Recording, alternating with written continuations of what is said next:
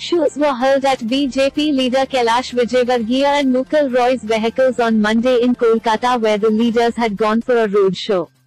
The BJP is holding a roadshow in South Kolkata despite Kolkata police not granting permission to the party for the same. The roadshow is being led by Kailash Vijayvargiya.